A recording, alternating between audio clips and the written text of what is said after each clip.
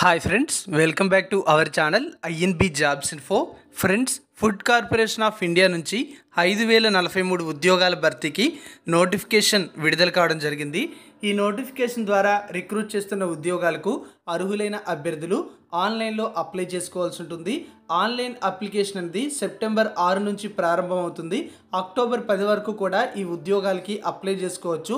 ఎవరైతే అప్లై చేసుకుంటారో వాళ్ళకి రెండు వేల ఇరవై మూడు జనవరిలో ఆన్లైన్ టెస్ట్ అనేది కండక్ట్ చేయడం జరుగుతుంది.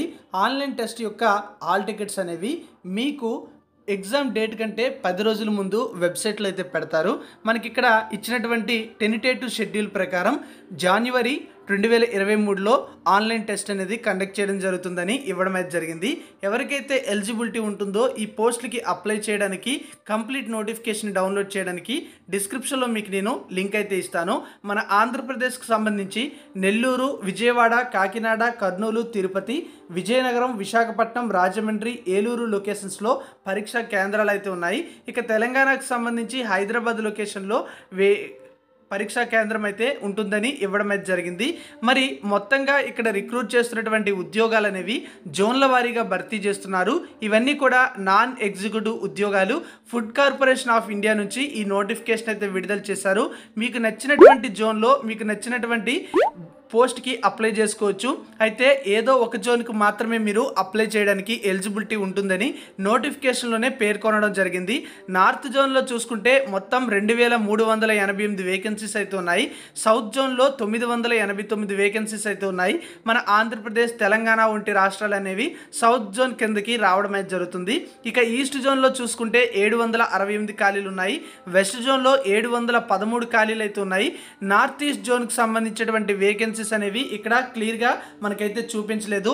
ఈ యొక్క రిక్రూట్మెంట్ యొక్క డీటెయిల్స్ అనేవి ఎంప్లాయ్మెంట్ న్యూస్ సెప్టెంబర్ తొమ్ మూడు నుంచి తొమ్మిది మధ్య ఉన్నటువంటి ఎంప్లాయ్మెంట్ న్యూస్లో మనకి అఫీషియల్గా రావడమే జరుగుతుంది.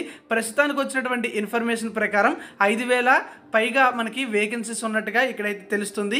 ఈ ఉద్యోగాలకి ఏవైతే పోస్టులు ఉంటాయో ఆ పోస్ట్ను బట్టి మ్యాక్సిమం ఏజ్ అనేది ట్వంటీ సెవెన్ అదేవిధంగా ట్వంటీ ఎయిట్ ఈ విధంగా ఉంటాయి.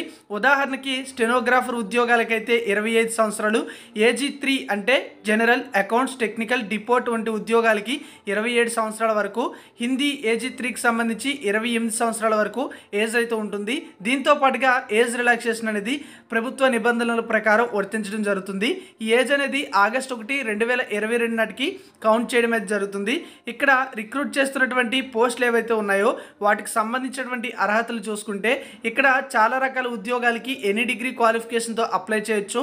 వీటితో పాటుగా జూనియర్ ఇంజనీర్ సివిల్ ఇంజనీరింగ్ పోస్టులు ఉన్నాయి. వీటికి డిగ్రీ ఇన్ సివిల్ ఇంజనీరింగ్ లేదా డిప్లొమా ఇన్ సివిల్ ఇంజనీరింగ్ చేసి వన్ ఇయర్ ఎక్స్పీరియన్స్ చేయాలి. అదేవిధంగా జూనియర్ ఇంజనీర్ ఎలక్ట్రికల్ మెకానికల్కి సంబంధించి డిగ్రీ లేదా డిగ్రీ అనేది సంబంధిత ఎలక్ట్రికల్ లేదా మెకానికల్ ఇంజనీరింగ్లో చూ చేసి ఉండాలి అంటే బీటెక్లో ఎలక్ట్రికల్ ఇంజనీరింగ్ లేదా మెకానికల్ ఇంజనీరింగ్ చేసిన వాళ్ళు అప్లై చేయొచ్చు.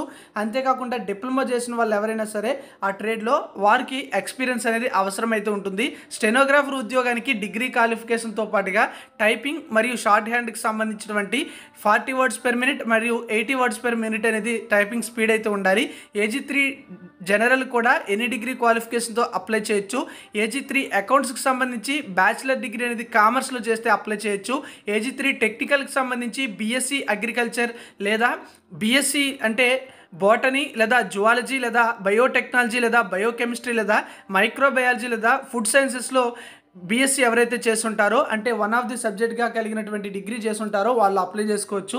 లేదా బీటెక్ లేదా బీఈ అనేది ఫుడ్ సైన్స్లో లేదా ఫుడ్ సైన్స్ అండ్ టెక్నాలజీలో అగ్రికల్చర్ ఇంజనీరింగ్లో బయోటెక్నాలజీలో చేసిన వాళ్ళు కూడా అప్లై చేసుకోవచ్చు. కంప్యూటర్ సంబంధించినటువంటి ప్రొఫిషియన్సీ అనేది వచ్చి ఉండాలి ఇక డిపో ఉద్యోగాలు ఏజీ త్రీకి సంబంధించి కూడా డిగ్రీ క్వాలిఫికేషన్తోనే అప్లై చేయొచ్చు.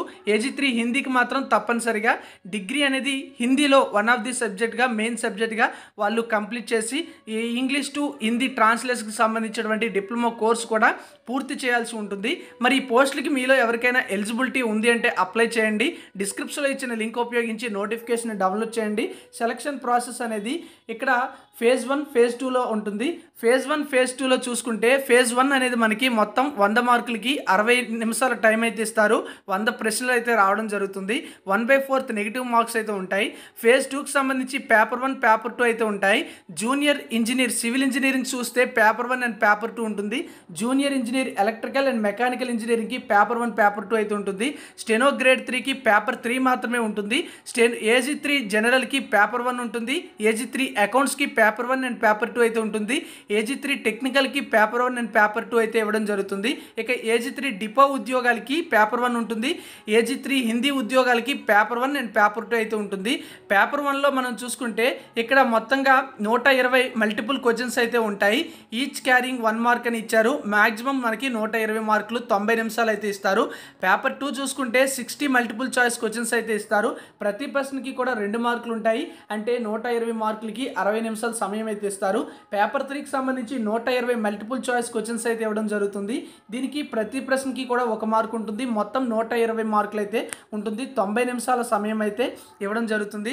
పేపర్ వన్ చూసుకుంటే మనకి ఇక్కడ English language reasoning ability numerical యాప్టిట్యూడ్తో పాటుగా జనరల్ స్టడీస్కి సంబంధించినటువంటి ప్రశ్నలు అయితే ఇవ్వడం జరుగుతుందని ఇచ్చారు.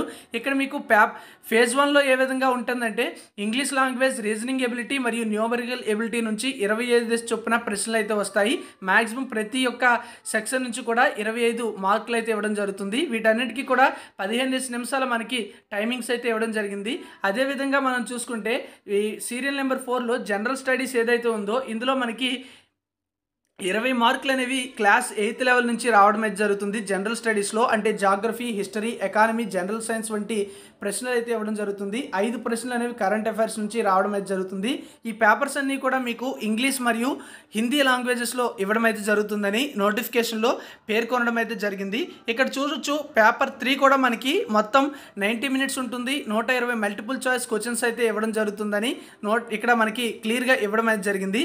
ఇక్కడ ఇచ్చినటువంటి ఈ పోస్టులకి ఎవరైతే అప్లై చేసుకోవాలనుకుంటున్నారో కొన్ని ఉద్యోగాలకి స్కిల్ టెస్ట్ కూడా కండక్ట్ చేయడం అయితే జరుగుతుంది. ఆ వివరాలు కూడా ఇచ్చారు. ఎలిజిబిలిటీ ఉండే వాళ్ళకి కాల్ లెటర్స్ అనేవి మనకి వెబ్సైట్లో అయితే పెట్టడం అయితే జరుగుతుంది. ఎగ్జామ్ కంటే ఒక పది రోజుల ముందు వెబ్సైట్లో అయితే పెడతారు. అక్కడి నుంచి మనం డౌన్లోడ్ అయితే చేసుకోవచ్చు.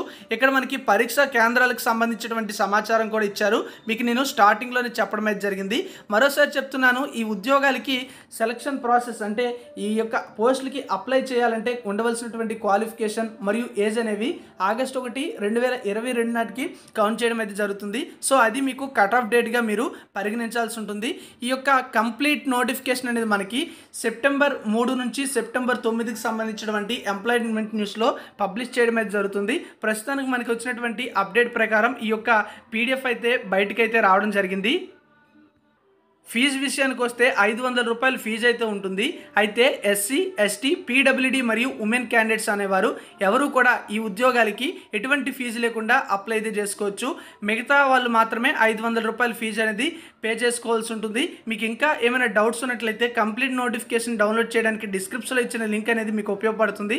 అక్కడి నుంచి ఒకసారి నోటిఫికేషన్ని చదువుకొని ఆ తర్వాత ఈ పోస్టులకి దరఖాస్తు ప్రక్రియ ప్రారంభమైన తర్వాత అప్లై అయితే చేసుకోండి. Thank you for watching.